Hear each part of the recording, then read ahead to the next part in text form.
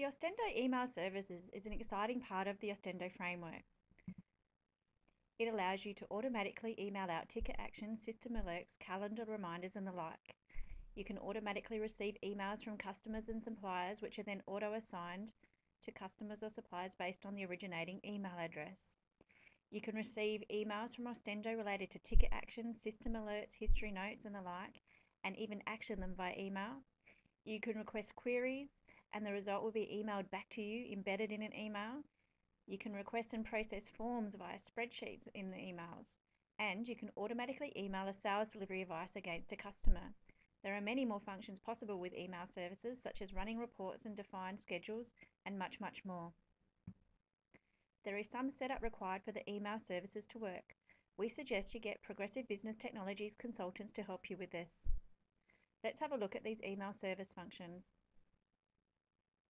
With Ostendo email services, you can automatically receive emails from customers and suppliers, and then they are auto-assigned to them based on the originating email addresses. I'll demonstrate how an email is auto-assigned to a customer. As you can see here in Azure Products Customer, there is an email address sales at pbt.net.au. Let's now go and send an email. The email that I'm sending this to is one that is created as part of setup. Typically this would be admin at PBT or something similar.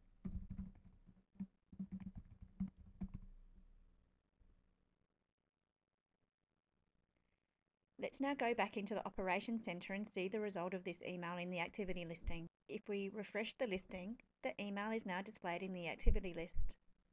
Let's have a look in the display icon over here. If we click on show images, it shows the images and you can see that the email is displayed in HTML format.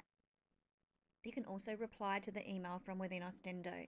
If you receive an email from a customer whose email is not recorded in Ostendo, it will go into unassigned emails. They will sit in this listing ready for you to assign them to the appropriate customer when you see fit. With Ostendo email services, you can automatically email out ticket action system alerts, calendar reminders, and the like. I'll demonstrate an example of how you can order email an action to an employee. Let's open a call ticket and assign an action to a person.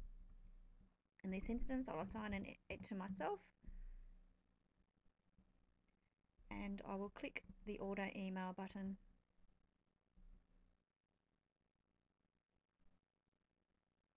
If I go back to Outlook, I will have received an email with that ticket in it. From this email, you can add notes to the action in Ostendo or even complete the job. Um, what I'll demonstrate to you now is how we can do both of these tasks at the same time. So if I click reply, um, my first job is to type in that this task is done. And secondly, I can update some notes. And these will go into the action history notes.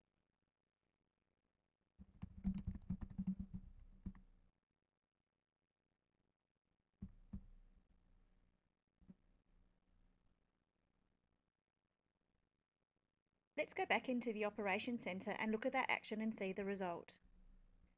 Let's now open that call ticket and go to that action and you can see that the action history has been updated and secondly the tick box has been checked to say that this task has been complete. With Ostendo email services you're able to run a pre-designed query and have the result automatically formatted and returned in the body of the email. I'll demonstrate an example of how you can request a query about a job order. To do this, we type in query job in the subject line with the job number and send the email. An email is returned and as you can see in the body of the email are the job lines. With Ostendo email services, you can email files by simply attaching a file to an email. This can be handy if you want to send emails from site. For example, you may need to take a photo of a damaged item and send it back attached to a job. So what I'll demonstrate to you is how we can attach a file from an email to a job in Ostendo. So in the subject line you type in file, job and the job number. We then attach the file that you want to send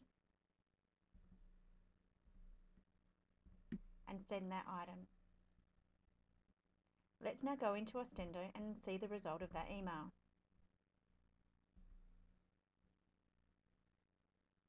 As you can see, there's now a customer email here with an attachment and we can click on that attachment and it'll open that document. This concludes the email services portion of this demonstration.